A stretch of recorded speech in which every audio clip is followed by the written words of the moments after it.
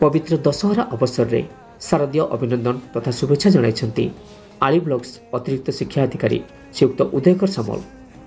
ଉଦୟକର ସାମଲ ସହକାରୀ ଶିକ୍ଷା ଅଧିକାରୀ ଆଳି ବ୍ଲକ ପବିତ୍ର ଦଶହରା ଉପଲକ୍ଷେ ଆଳି ବ୍ଲକ ତରଫରୁ ସମସ୍ତ ଜନସାଧାରଣ ଶିକ୍ଷୟିତ୍ରୀ ବୁଦ୍ଧିଜୀବୀ ସମସ୍ତ ଅଭିଭାବକ ଓ ସ୍ନେହର ଛାତ୍ରଛାତ୍ରୀମାନଙ୍କୁ ଶାରଦୀୟ ଅଭିନନ୍ଦନ ଓ ଶୁଭେଚ୍ଛା ଜଣାଉଛି।